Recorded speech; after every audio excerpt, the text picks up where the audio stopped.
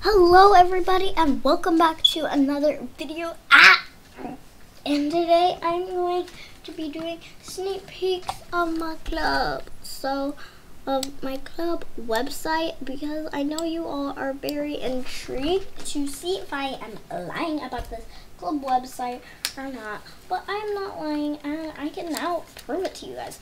So, basically, here is what we have so far. Sorry I haven't been posting. I've been trying to beg my sister for me to be her editor because she is not making uh, great videos at the moment. And it will really be helpful for her. So, without further ado, let's get into this video. So let's start at the home. There's this nice little picture of the invisible foxes, and then there's like this Karigami uh, fox, whatever it's called. I think it's called Korigami, Korigami fox. I don't know. And here we have our slideshow gallery uh, that we have not finished, but here are the three pictures we have right now. And let's go to the about and I will read it all for you. Invisible Foxes is a dressage and hangout club. We love new members. We are found in game a lot more than in this website. We also have nicknames, crazy craziness, show rides, events, meetings, and more. You can join by applying, which is the button next to the gallery.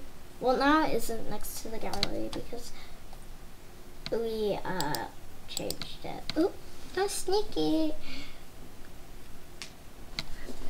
Our club horses are Lucy, are Lusitano, Annie Frizzy, or ETV, or Andy, Lusitano, Annie Frisian, or English Thoroughbred. We are strict most of the time, but are funny and goofy on the inside.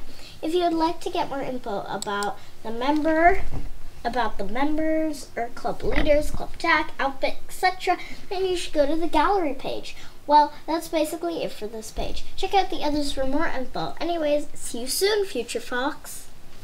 Okay, so the last thing we have is the apply.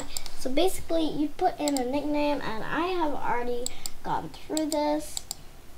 So, we, oh, so we basically have all these. I didn't really go into detail because I didn't have to. So for the for an example, you'd put no, and then you'd go into detail if you would like.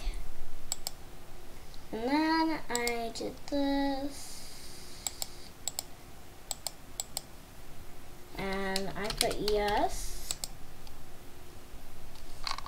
And then there is not a submit button just yet, but working on it.